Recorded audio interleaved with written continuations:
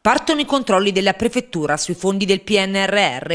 2.317 sono i progetti all'attivo per un ammontare di 800 milioni di euro in provincia dell'Aquila.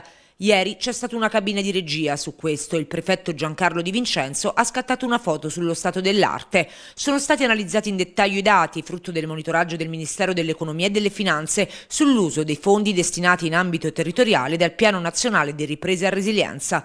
La provincia dell'Aquila ha beneficiato di una somma consistente con un impatto rilevante sul tessuto socio-economico. L'analisi effettuata, secondo il prefetto Giancarlo Di Vincenzo, ha anche messo in luce la grande risposta del territorio provinciale in relazione alla realizzazione dei progetti finanziati con un positivo stato di avanzamento, come dimostrano i dati forniti dal MEF.